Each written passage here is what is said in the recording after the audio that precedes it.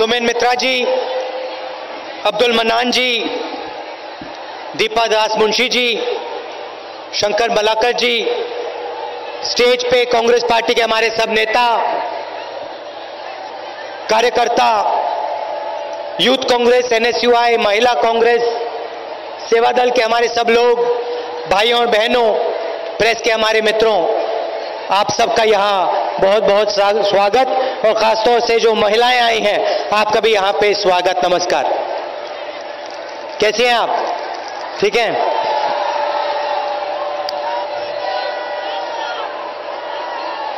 पाँच साल पहले नरेंद्र मोदी जी प्रधानमंत्री बने और अलग अलग वायदे किए उन्होंने। हर बैंक अकाउंट में पंद्रह लाख डालने का वायदा किया। याद है आपको? याद है? मिला पंद्रह लाख रुपया? नहीं, सुनाई नहीं दिया। मिला हाँ या ना?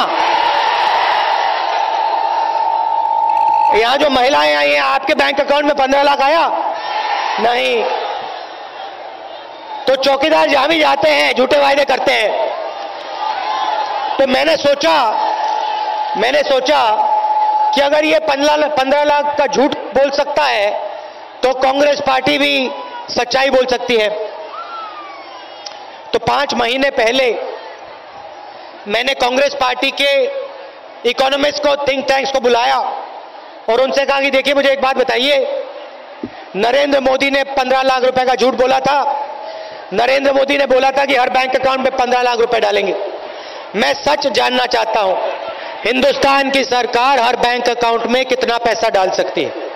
ये जो हमारी माताएँ बहनें आई हैं इनके बैंक अकाउंट में हिंदुस्तान की सरकार कितना पैसा डाल सकती है? मैंने कांग्रेस पार्टी के थिंक टैंक से इकोनॉमिस्ट से पूछा। मैंने उनसे कहा, मुझे लंबे भाषण नहीं सुनने। मुझे एक नंबर चाहिए। एक नंबर चाहिए, और कुछ नहीं चाहिए। आपसे जाइए, काम कीजिए। चार पाँच महीनों में मेरे पास आइए, मुझे बताइए। एक नंबर दीजिए, कितना पैसा हिंदुस्तान के 20 प्रतिशत सबसे गरीब लोगों के बैंक अकाउंट में जा सकता है? और मैं आज खुशी से कहना चाहता हूँ कि कुछ ही दिन पहले वही लोग वापस आए और कागज़ पे उन्होंने एक नंबर लिख दिया। नंबर था बहत्तर हज़ार रुपए। बहत्तर हज़ार रुपए मतलब कांग्रेस पार्टी हर गरीब व्यक्ति के बैंक अकाउंट में सीधा सीधा हर साल बहत्तर हज़ार रुपए डालने जा रही है। मैंने सोचा, अगर ये नरेंद्र मोदी हिंदुस्तान के चोरों के बैंक अकाउंट में पैसा डाल सकता है तो कांग्रेस पार्टी हिंदुस्तान के ईमानदार किसानों के बैंक अकाउंट में, महिलाओं के बैंक अकाउंट में, बेरोजगार युवाओं के बैंक अकाउंट में पैसा डाल सकती है। सही बोला ना? बहत्तर हज़ार एक साल के, तीन लाख साठ हज़ार पाँच साल के। सीधा आपके बैंक अकाउंट में जाने वाला है। जिसकी भी आमदनी बारह हज़ार रुपए प्रति महीने से कम की है। इस भीड़ में जो भी लोग हैं, जिनकी आमदनी बारह हज़ार रुपए हर महीने से कम की है, उन सब लोगों के बैंक अकाउंट में कांग्रेस पार्टी साल के बहत्तर हज़ार रुपए डालने जा रही है। मोदी जी, आपको जो करना है करो, मुझे कोई फ़र्क नहीं पड़ता। आप उनकी चौकीदारी का चौकीदारी करोगे? आप अनिल अंबानी की चौकीदारी करोगे? तो मैं किसानों को, मजदूरों को, गरीबों की मदद करूँगा। योजना का नाम न्याय योजना। पाँच साल जो उन्होंने अन्याय किया है, हम न्याय करने जा रहे हैं।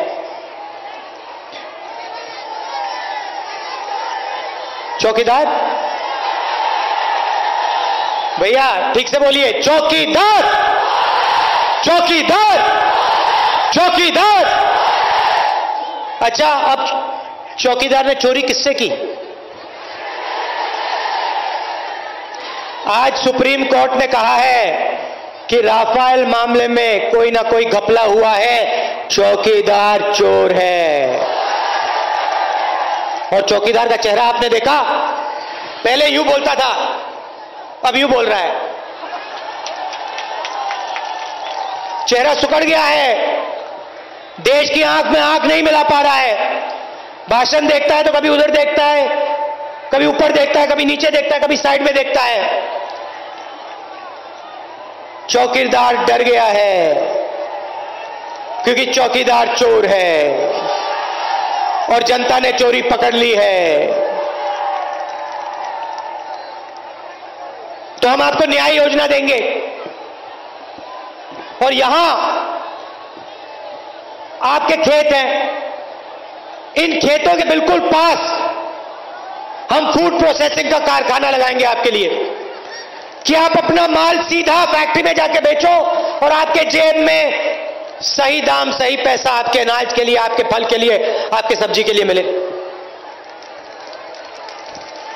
अच्छा एक और बात, एक और बात देखिए। बड़े उद्योगपति कर्जा लेते हैं, पैसा वापस नहीं देते, उनकी जेल नहीं होती, उन पर कोई कार्रवाई नहीं होती। तो हमने मैनिफेस्टो में लिख लिया है, हिंदुस्तान के किसी भी किसान को कर्जे के लिए जेल नहीं डाला जा सकेगा। मेरा कहना है, अगर अनिल अंबानी पैंतालीस हज़ार करोड़ रुपए चोरी करके जेल नहीं जाता है तो किसान क्यों जेल जाए? पहले आप उसे जेल में डालिए। पहले आप उसे जेल में जेल में डालिए। फिर किसान की बात करते हैं। आपने उनका तीन लाख पचास हज़ार करोड़ रुपए माफ़ किया। और किसानों का कर्जा माफ़ नहीं हुआ। अच्छा एक बात बताइए, ममता जी ने किसानों का कर्जा माफ़ किया? नहीं किया? राजस्थान में मध्य प्रदेश, छत्तीसगढ़ में चुनाव हुआ। मैंने भाषण में बोला, देखिए, अगर नरेंद्र मोदी जी लाखों करोड़ रुपए कर्जा माफ़ कर सकते हैं तो कांग्रेस पार्टी किसानों का कर्जा माफ़ कर सकती है। वो बिज़नेस वालों का करेंगे पंद्रह पंद्रह लोगों का करेंगे हम किसानों के करेंगे। मैंने भाषण में बोला, देखिए, चुनाव के बाद मध्य प्रदेश, राजस्थान, छत्तीसगढ़ में 10 दिन के अंदर किसानों का कर्जा माफ़ हो जाएगा। और 10 दिन नहीं लगे, दो दिन के अंदर कांग्रेस पार्टी ने तीनों प्रदेश में हर किसान का कर्जा माफ़ कर डाला। अब ममता जी गरीबों की बात करती हैं। उन्होंने आपका कर्जा माफ़ क्यों नहीं किया? किया? नहीं। मगर कांग्रेस पार्टी की देश में सरकारें हैं। मध्य प्रदेश, छत्तीसगढ़, राजस्थान, पंजाब, कर्नाटक। इनमें से आप किसी भी प्रदेश में चले जाइए, वहाँ पूछिए, क्या कांग्रेस पार्टी ने किसानों का कर्जा माफ़ किया, हाँ या ना? आपको एक मिनट में जवाब मिल जाएगा, हाँ, कांग्रेस पार्टी ने किसानों का कर्जा माफ़ किया। ममता जी कहती हैं कि कांग्रेस बीजेपी के साथ नहीं लड़ रही। भाइयों और बहनों, राफेल का मामला किसने उठाया? चौकीदार चोर है, चौकीदार को चोर किसने बनाया? राफेल की लड़ाई कौन लड़ा? कांग्रेस पार्टी लड़ी। हर प्रदेश में कांग्रेस पार्टी बीजेपी के खिलाफ लड़ रही है। हम एक इंच पीछे नहीं हटते। चौकीदार का पूरा चेहरा बदल दिया हमने। चौकीदार आजकल ठीक से भाषण नहीं दे पा रहा। डर डर के बोलते हैं, क्योंकि सोचते हैं, घर जाके सोचते हैं कि भैया, कांग्रेस पार्टी ने राफेल मामले में फंसा दिया है इन्वेस्टिगेशन होगा तो जेल जाऊँगा। चौकीदार के दिल दिल में डर है, कहाँ से आया, कांग्रेस पार्टी ने किया? हम लड़े। अच्छा भाई एक बात बताओ, कांग्रेस पार्टी ने बीजेपी के साथ तो कभी गठबंधन नहीं किया ना? हमने तो कभी नहीं किया।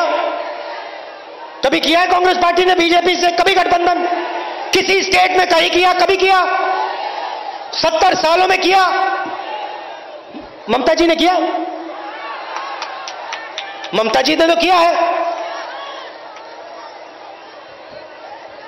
तो देखिए, देश में बीजेपी के खिलाफ कांग्रेस पार्टी ज़बरदस्त तरीके से लड़ाई लड़ रही है। और मैं आपको आश्वासन देना चाहता हूँ। आप घबराइए मत।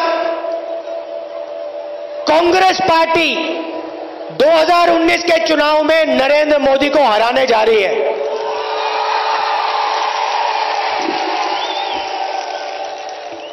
और उसके बाद राफेल मामले पे जो ये हवाई जहाज़ एयरफोर्स के हवाई जहाज़ की पैसे की चोरी हुई है उस पर इंक्वायरी होगी।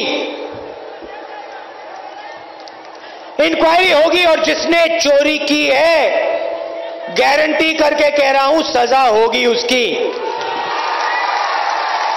कोई नहीं बच सकता। यह सच्चाई है। अच्छा ममता जी ने, मोदी जी ने रोज़गार देने का वायदा किया था। मोदी जी ने कहा था, दो करोड़ युवाओं को हर साल रोज़गार देंगे। ममता जी कहती हैं, रोज़गार दिलवाएँगे। आप बताइए मोदी जी और ममता जी ने रोज़गार दिलवाया बंगाल की जनता को? कोई यहाँ पे है जिसको नरेंद्र मोदी ने या ममता जी ने रोज़गार दिया हो? एक युवा है यहाँ पे। नहीं है। मैं आपको बताता हूँ और मैं झूठे वायदे नहीं करूँगा। दो दो करोड़ युवाओं को रोज़गार देने का वायदा नहीं करूँगा।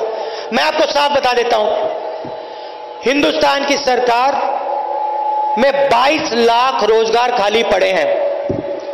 उन 22 लाख रोज़गार को मैं आपको दिलवा दूँगा। और पंचायतों में 10 लाख और युवाओं को रोज़गार दिया जा सकता है।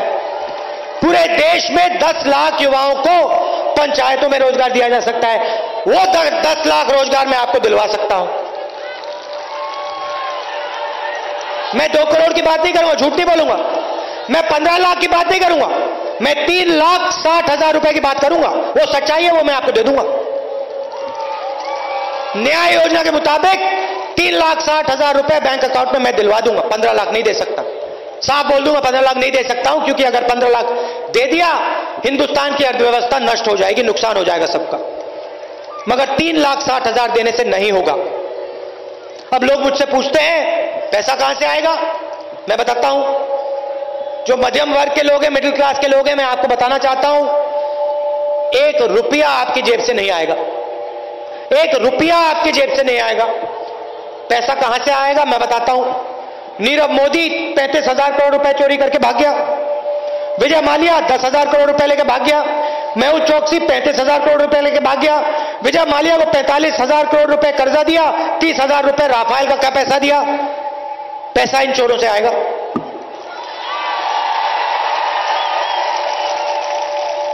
मैं एक एक करके इनके जेब से पैसा निकाल के आपके जेब में डालूँगा। मुझे कोई फ़र्क नहीं पड़ता।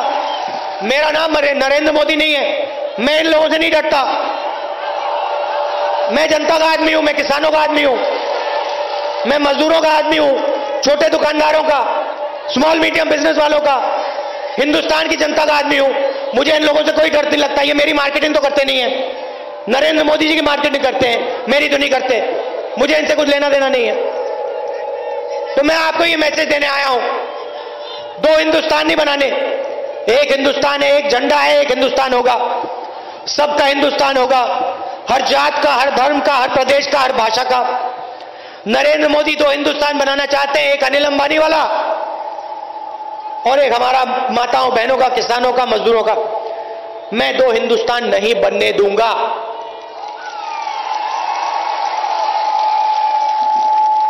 एक हिंदुस्तान होगा। ज़्यादा से ज़्यादा पैसा आपके स्वास्थ्य में और आपकी शिक्षा में जाएगा। बजट बजट में अस्पताल बनाने के लिए, कॉलेज और यूनिवर्सिटी बनाने के लिए ढेर सारा पैसा कांग्रेस की सरकार डाल के देगी आपके लिए। आजकल आप बीमार होते हो, प्राइवेट अस्पताल में जाना पड़ता है। प्राइवेट अस्पताल में आप जाते हो, लाखों रुपए देने पड़ते हैं और वही पंद्रह बीस लोगों को फ़ायदा होता है। राजस्थान में कांग्रेस पार्टी ने योजना दी। मुफ़्त में दवाई, मुफ़्त में इलाज। हिंदुस्तान में यूपीए की सरकार ने स्वास्थ्य के लिए, शिक्षा के लिए पैसा दिया। मगर इस बार हम स्वास्थ्य का अधिकार देने जा रहे हैं। पूरे देश में सरकारी अस्पताल हाई क्वालिटी अस्पताल का जाल बिछा देंगे। और आपका कम से कम पैसे में इलाज होगा। और एक और बात याद रखिए आईआईटी सरकारी सरकारी इंस्टीट्यूट है प्राइवेट इंस्टीट्यूट नहीं है। शिक्षा देने का काम सरकार का होता है। और हम शिक्षा में भी आपके लिए ज़बरदस्त पैसा डालेंगे। कि आप भी अपने बच्चों को इंजीनियर डॉक्टर बना पाओ। यह पूरा नरेंद्र मोदी जी ने जो प्राइवेटाइजेशन कर रखा है, इससे लोगों का नुकसान हो रहा है। और हम आपको सरकारी कॉलेज सरकारी यूनिवर्सिटी हाई क्वालिटी के कॉलेज हाई क्वालिटी की यूनिवर्सिटी दिलवाएँगे। यहाँ पे आपको दिलवाएँगे।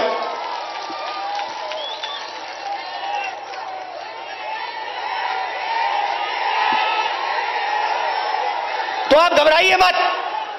अभी कुछ ही दिनों में चुनाव होने वाला है।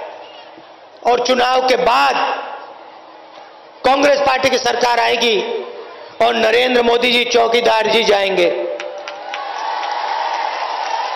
और आज आज सुप्रीम कोर्ट ने कहा है कि राफेल मामले में चोरी हुई है। सुप्रीम कोर्ट ने कहा है, कोई ना कुछ ना कुछ दाल में काला है, इन्वेस्टिगेशन करना पड़ेगा। तो भाई और बहनों न्याय से कोई नहीं बच सकता। एक तरफ़ हम न्याय योजना देंगे, दूसरी तरफ़ हम किसान की मदद करेंगे, युवाओं को रोज़गार देने का काम करेंगे और राफेल मामले में भी देश के एयरफोर्स को न्याय मिलेगा। एयरफोर्स से पैसा चोरी किया गया है और जिन लोगों ने चोरी किया है, उनके खिलाफ कार्रवाई होने जा रही है। आप सबका दिल से बहुत बहुत धन्यवाद।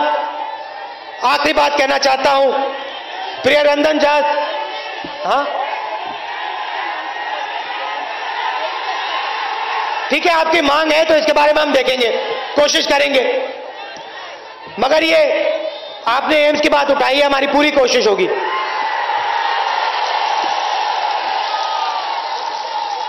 मगर ये, आखिरी बात मैं कहना चाहता हूँ, देखिए, दीपा जी हैं, और ये प्रियरंजन दास मुंशी की कर्मभूमि है। कांग्रेस पार्टी के वो बहुत मज़बूत कर्मठ नेता थे। और उनके यहाँ आया हूँ, उनके घर आया हूँ, उनके कर्मभूमि में आया हूँ तो उनको याद करके मैं जाऊँगा। उन्होंने आपके लिए बहुत काम किया था। आपके लिए वो जिए, पूरा जीवन उन्होंने आपके लिए दिया। तो उनका मैं इस स्टेज से धन्यवाद करना चाहता हूँ। और दीपा जी और हमारे जो दूसरे कैंडिडेट्स हैं, उनका आप समर्थन कीजिए और उनको आप जिताइए। आप सबका बहुत बहुत धन्यवाद। नमस्कार। जय हिंद।